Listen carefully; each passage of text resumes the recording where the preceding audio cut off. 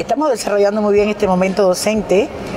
En la mañana, la intervención del rector, de la vicerrectora, las experiencias de los dos participantes egresados y a profesionales de acá, nos está diciendo que vamos por buen camino. Necesitamos sistematizar algunas cosas y esa sistematización va a salir de esta intervención germinal de la cual estamos convencidos que saldrán múltiples experiencias consolidadas y sistemáticas.